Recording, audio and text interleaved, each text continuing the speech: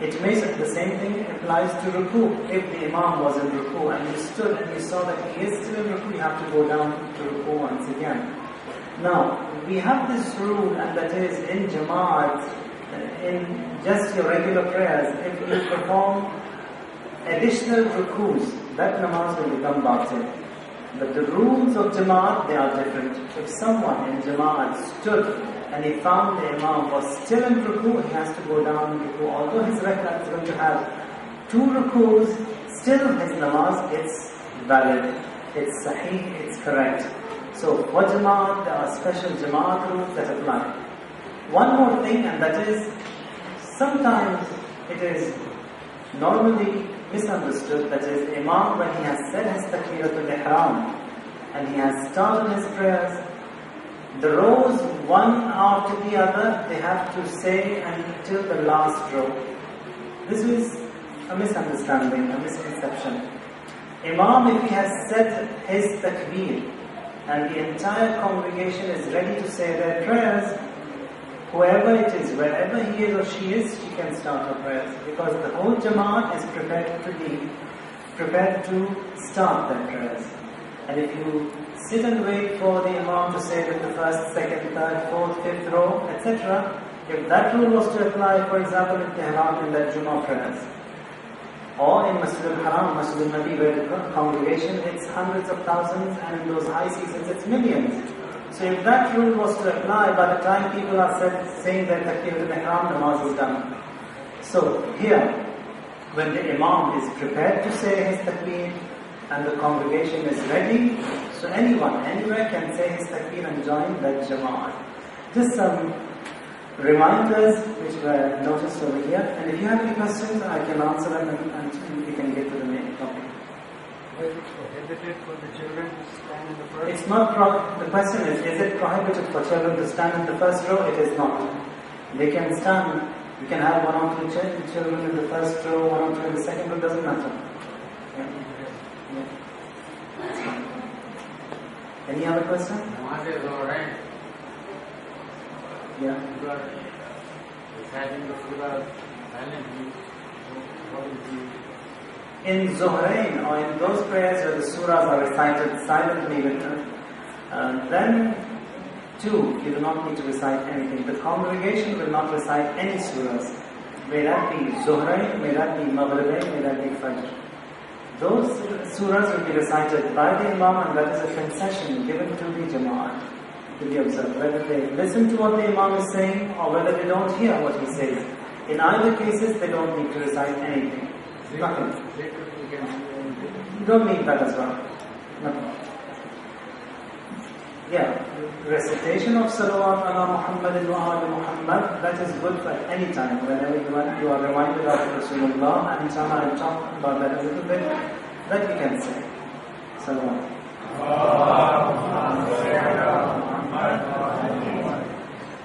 The 10th of this holy month of Ramadan, it's the demise of Hazrat Khadija Umm al-Mu'mineen alayha salam.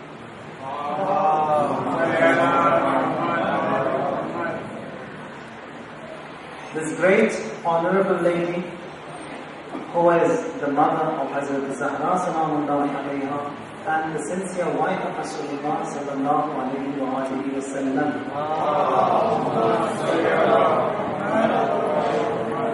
Regarding her, the Holy Prophet, he says that she had faith in me when everyone else denied me. So she was the first one to be with him. She certified me when everyone else rejected me. And she gave all her work to me when everyone else abstained me. Through her, the Almighty, the benefactor, He blessed me a child that was not bestowed through any other, or to any other.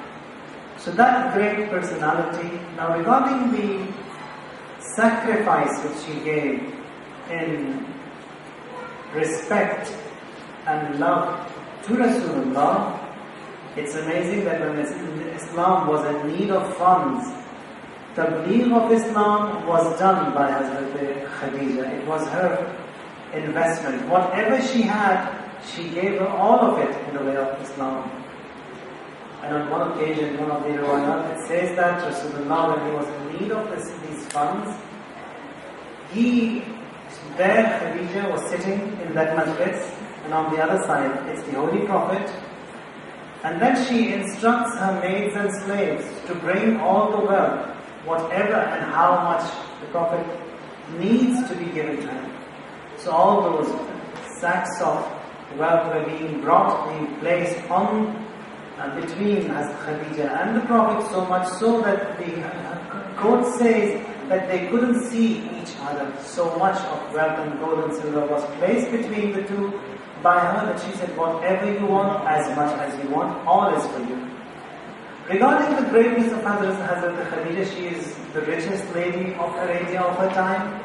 And Hijaz, there wasn't any person in Hijaz who wasn't in debt to her. So she provided everything for everyone, whosoever was in need was provided, and that greatly. Now this person, with that caliber, with all that riches and wealth which she possesses, when she marries Rasulullah, she is a humble servant. Now those of you who've been to Mecca, and those of you who've seen that Ghar Hira, when the Wahi was revealed to Rasulullah, now Rasulullah, he used to go to that Ghar, to that cave quite a lot for his education, for his uh, spiritual uplift. So, and the height of that cave is about 4,000 feet, the altitude of it. If we were to walk up to that cave, it would take easily four hours, three to four hours, and we've got steps which lead up to that cave. And even in those three, four hours, it's almost impossible for someone to get up there and then come down. Now this lady, with all of those riches which she has, she prepares the food for Rasulullah and she herself in person comes and ascends to that mountain and provides that food to Rasulullah sallallahu alayhi wa alihi wa sallam. And this great lady, she passes away after a lifelong service to the Holy Prophet. She passes away on the 10th of this month of Ramadan, and a few days before her demise, we had Abu Talib alayhi salam, father of Amir al-Mu'mineen, he too passes away. And these two tragic events which unfold upon Rasulullah were so grievous, full of grief and sad, that that year when these two tragedies took place, that year was known as Aam al-Huzn, the year of grief, the year of sadness for Rasulullah, that two of his staunch supporters, they departed in this very month. Now she is laid to rest in Mecca and in that cemetery which is known as Hujum. And it's again pity to see that all the those related to Ahlul Bayt alayhi those immediate relationships to the Holy Prophet, how everything is just being wiped off from the surface of this earth by these mala'in in Hijaz. The same thing is with this cemetery. Although they do not allow anyone to go there to pay any respect in all those huge walls that they have built, now just recently, last year, what they have done from the flyovers which are around that cemetery, the graves could be seen, not even the graves, only the fence could be seen where these graves are there. They built huge big walls, maybe 14 meters high, concrete walls, so that even from that flyover, no one is able to see the cemetery, the graveyard, when these noble personalities are buried there. Abu Talib alayhi salam is buried in the same place. We find that Hazrat Khadija alayhi salam, she also has been buried in the same place. Salam.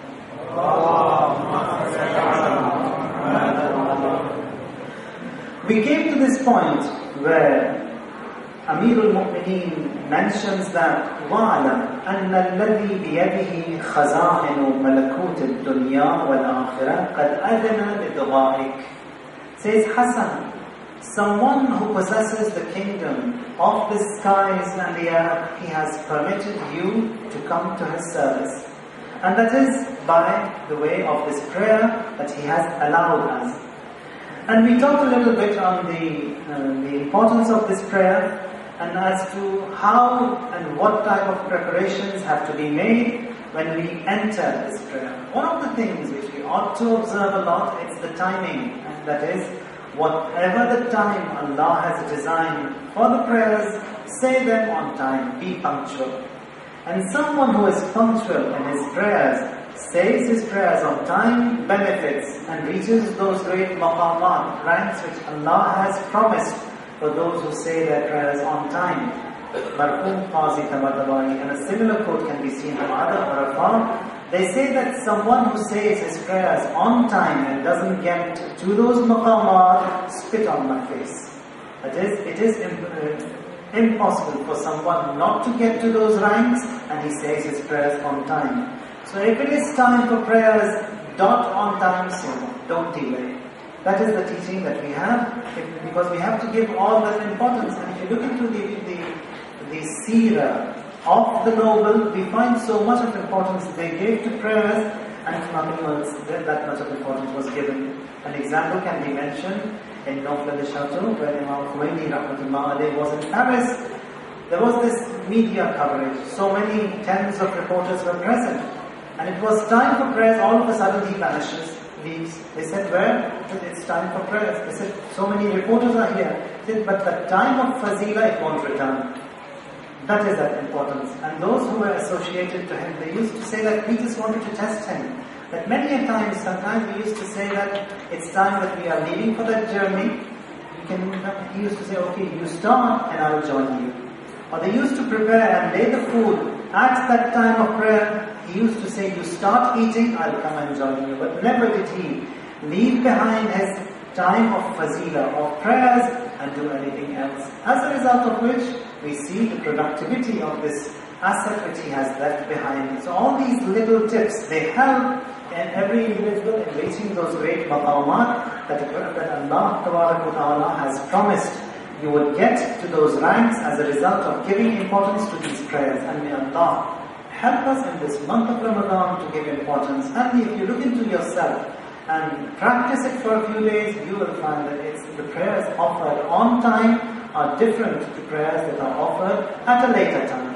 One of the reasons why we are told that say our prayers on time because Imam al-Asr Ajjalallahu Ta'ala Farajahu Sharif says his prayers on time. Because he says his prayers now, he is a perfect human being, complete, kamil.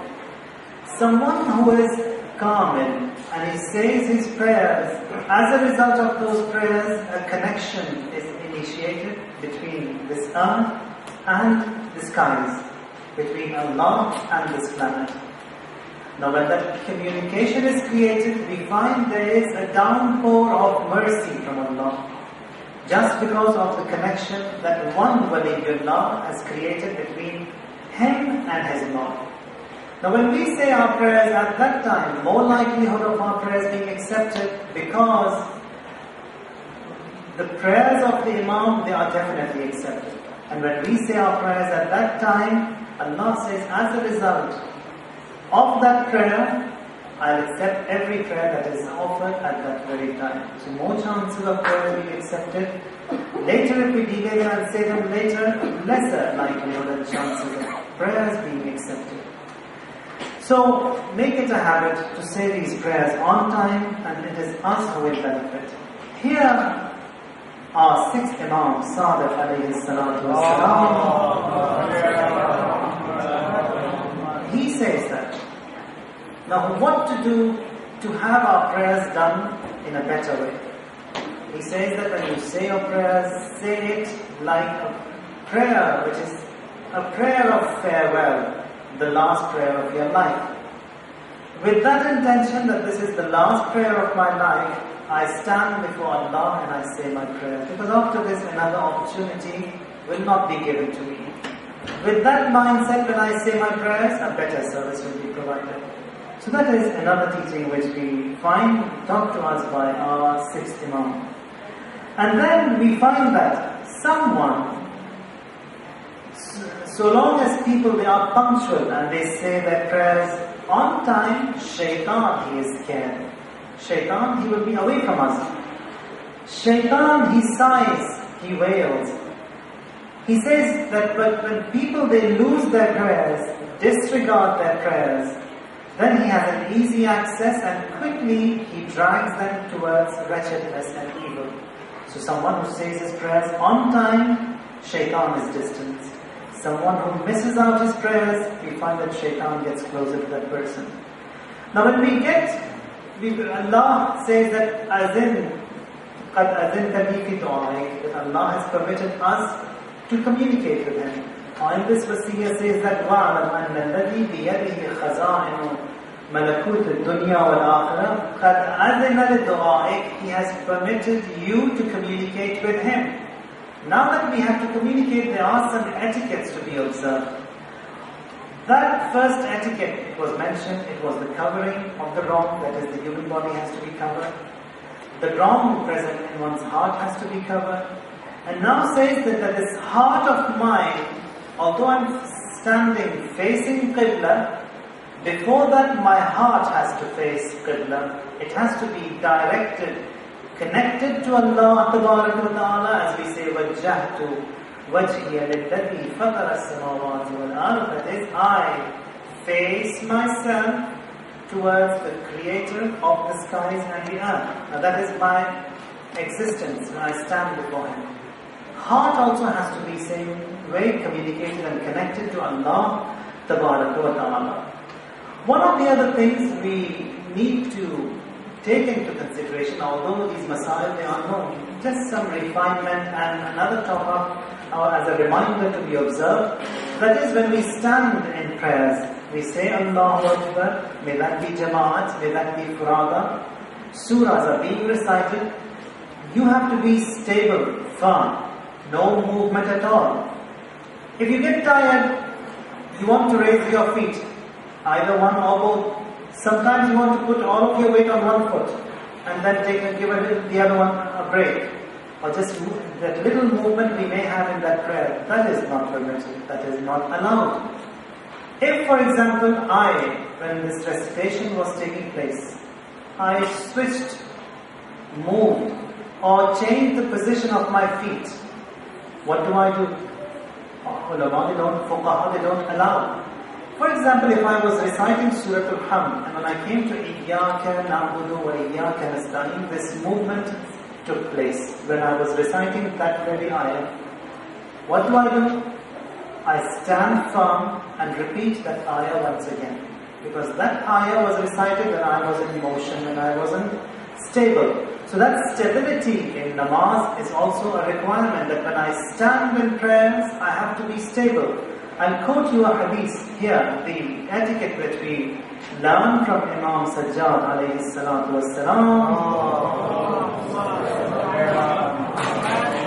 Hadith says that when he stood in worship, this Imam, it was, he was as if uh, a branch of a tree, a dry branch of a tree which doesn't shake at all, or like the stem of a tree which doesn't move at all.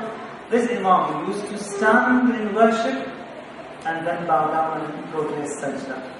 If there was any movement, it was the movement of his clothes sometimes if a wind blew. Otherwise, this the position which Imam stood in worship, that was. And then says that when you stand, إِذَا اسْتَقْبَلْتَ الْقِبْلَةِ فَآيَسْ مِنَ الدُّنْيَا وَمَا فِيهَا When I stand in worship facing Qibla, says from everything that is in this dunya, I have to move away, turn away from everything. Only focus has to be Allah, Ta'ala, and no one else. It may sound difficult a little bit, but it is possible because all these teachings are for human beings and uh, for no one else. So Allah also, He doesn't burden anyone with anything which is stronger or more than what He can bear. Because we can bear, because we've got that capacity and ability, that's why He has mentioned all of this to us. says, قِفْ عَلَى قَدَمِ الْخَوْفِ وَالرَّجَاءِ Now that you stand and worship before Allah, says, stand on your feet between khawf and raja. Khawf means fear, fright. Raja means hope. That I am standing in the presence of Allah with all that fear because the position of Allah is fearful. Not that Allah Ta'ala the position, the rank, the station of Allah that is scary. Allah Himself is not. He is Rahman, He is Rahim, He is Arhamar Rahimeen. All these glorious names that we have mentioned throughout these days says Allah that you have to have, you have to move between that fright and that hope in Allah. A lot of hope that He has accepted us and He will forgive us. Fright because of that position, that rank, that station of Allah. Now, to perform this prayer in a better way, there are some attachments to it. Now, what are these attachments? That before I start my prayer, I say and recite the adhan. I recite after that the iqamah. Now these are attachments which strengthen and make me perform this worship in a better way. That is, and for the adhan, hadith says from Imam Sadiq alayhi salatu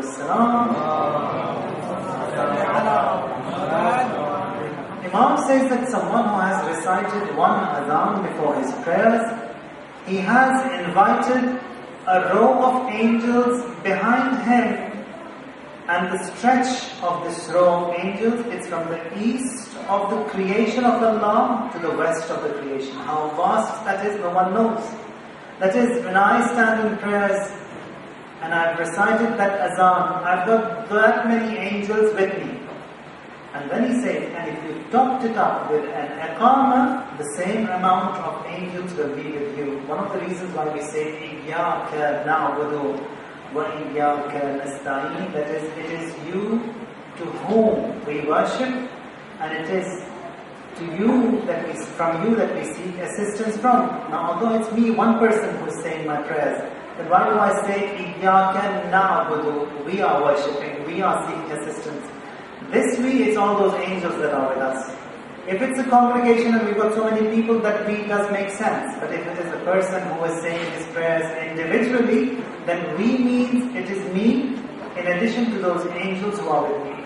If I haven't recited that Adhan and Iqamat and I haven't got that many angels with me, then at least the two angels who are registering and recording me are among they are with me. So that is why we say, إِيَّاكَ نَعْبُدُ وَإِيَّاكَ نَسْتَعِينَ so here, Imam says that when you stand in worship and you've said that adhan and that iqamah, by the saying of this adhan, you have prepared all the forces and powers in you.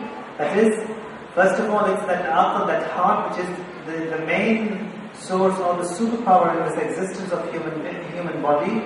You have instructed that heart to focus to Allah and that heart also invites all other forces in this human body to be prepared that we are taking off at this very moment. It's exactly like how these uh, aeroplanes take off, they just don't shoot and take off uh, all by themselves. It's all that preparation that takes place at the airport or in flight, formalities that have to be observed and when all that is done, only then that, that aircraft it takes off. Here says that Adhan and Iqamah are to remind of the Almighty's presence, His greatness, and the humbleness of us who have stood in His presence. Jalla wa'ala. Says أفضل الناس من عشق العبادة وعانقها وأحبها بقلبه If you want to know the best of people, who are they? Imam says that someone who adores worship, loves worship, loves prayer. Not only does he love, says as we when we love someone, we want to embrace him, we want to hug him. Here says this person who has loved this worship, he hugs it. That is, he loves this, adores this worship, أحبها بقلبه with his heart, وباشرها بجسده, and then he embraces this worship with his body. That is by all these different um, amal and recitals that we have, all these different movements that we have in ruku and sajda, etc. So this is regarding worship which here Ma'asumin they talk about and inshallah we will continue as to what exactly is meant when we say takbir nazar, what exactly is meant when we say ashhadu an la ilaha illallah, the same thing when we bear the witness for the risalat of Rasulullah sallallahu alayhi wa alihi wa sallam.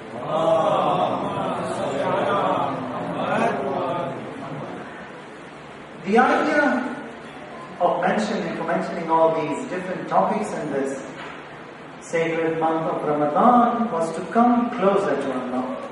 And we find that this divine month, it has invitations in different ways.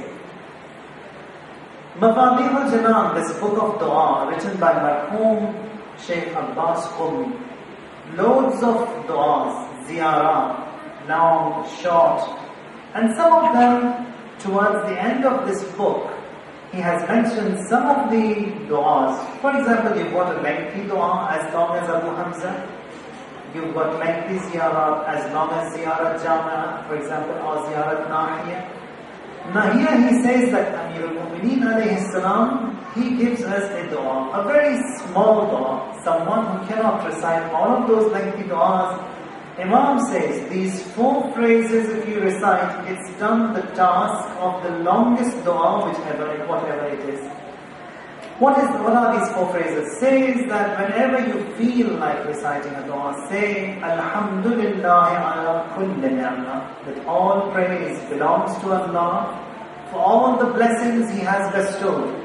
Instead of itemizing each one, says kulli ni'mah. Whatever blessings He has given, praise belongs to Allah for bestowing all of that upon us. Says وَأَسْأَلُهُ اللَّهُ مِنْ كُلِّ خَيْرٍ instead of itemizing and again asking Allah for all these different hajat and needs and requirements of ours, Imam says, I ask Him for every good, every good.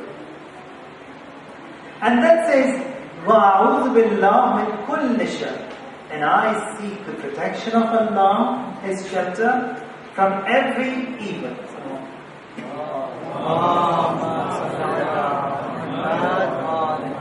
And finally says, وَأَسْتَغْفِرُ اللَّهِ مِنْ كُلِّ ذَنْبٍ And I seek the forgiveness of Allah from every sin, from every wrong that I have committed. Four phrases and does the job of a lengthy dua.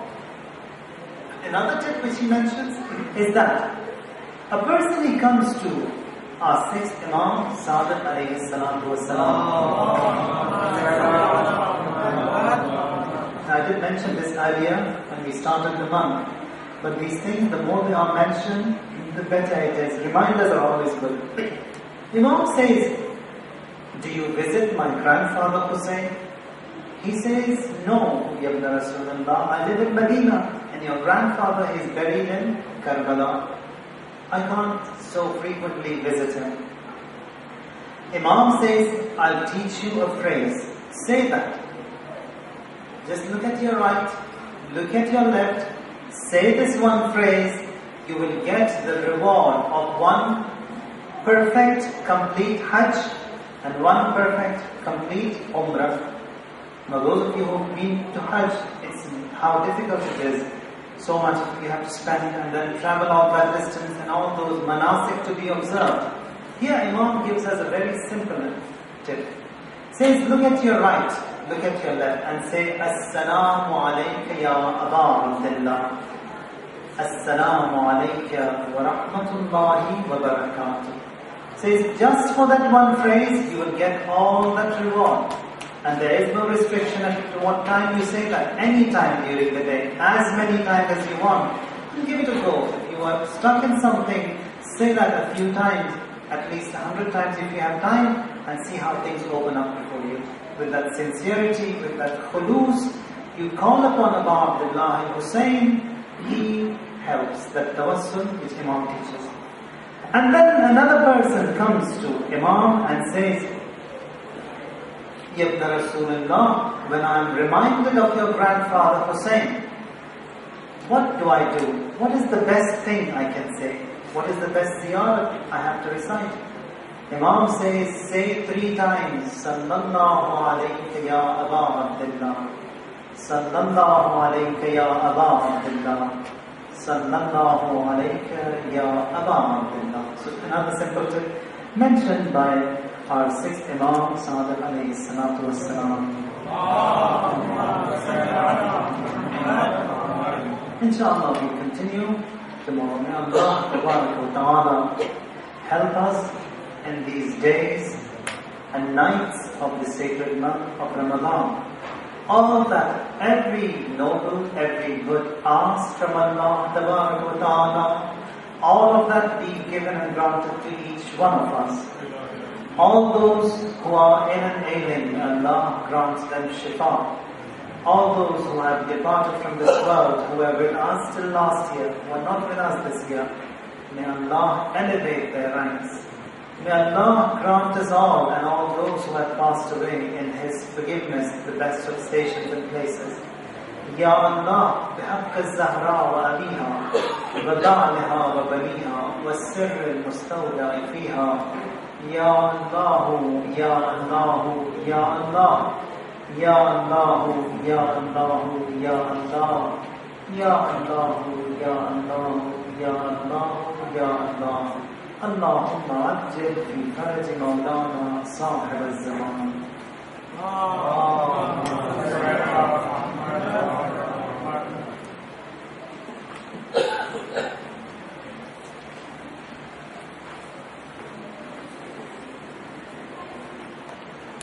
Reminders which were noticed over here, and if you have any questions, I can answer them and, and we can get to the main topic. Is it prohibited for the children to stand in the first? It's not pro- the question is, is it prohibited for children to stand in the first row? It is not. They can stand, you can have one or two ch- children in the first row, one or two in the second row, doesn't matter. Yeah. Yeah. Any other question?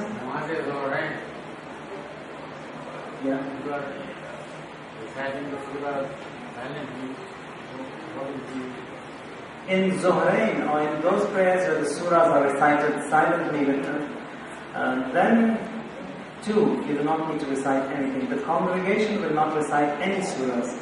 May that be Zuhrain, may that be Maghribain, may that be Fajr. Those surahs will be recited by the Imam and that is a concession given to the Jama'at to be observed. Whether they listen to. It may the same thing applies to ruku. If the Imam was in ruku and you stood and you saw that he is still in ruku, you have to go down to ruku once again. Now, we have this rule and that is in Jamaat, uh, in just your regular prayers, if you perform additional rukus, that namaz will become batil. But the rules of Jamaat, they are different. If someone in Jamaat stood and he found the Imam was still in ruku, he has to go down in ruku. Although his rak'ah is going to have two rukus, still his namaz, it's valid, it's sahih, it's correct. So for Jamaat, there are special Jamaat rules that apply. One more thing, and that is, sometimes it is normally misunderstood, that is, Imam when he has said his takbiratul ihram and he has started his prayers, the rows one after the other, they have to sallallahu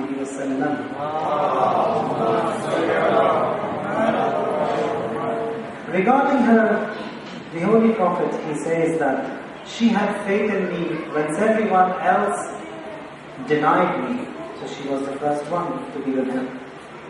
She certified me when everyone else rejected me. And she gave all her work to me when everyone else abstained me. Through her, the Almighty, the benefactor, He blessed me a child that was not bestowed through any other, or to any other.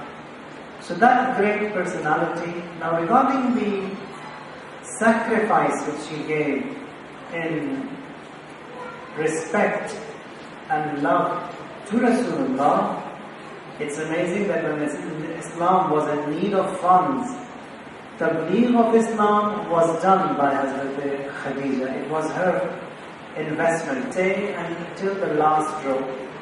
This is a misunderstanding, a misconception.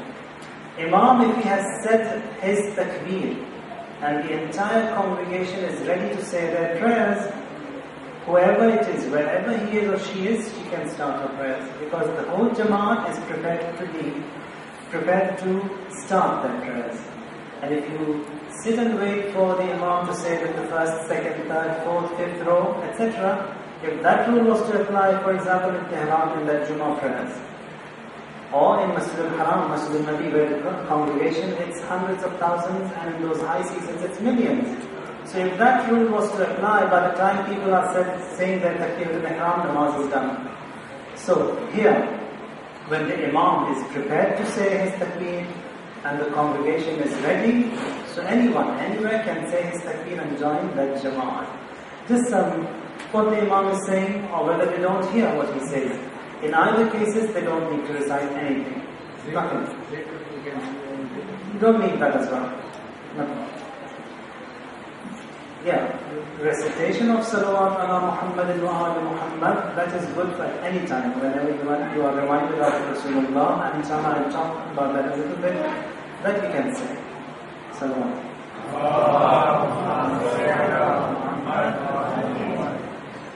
The 10th of this holy month of Ramadan, it's the demise of Hazrat Khadija from al-Mu'mineen alayha salam.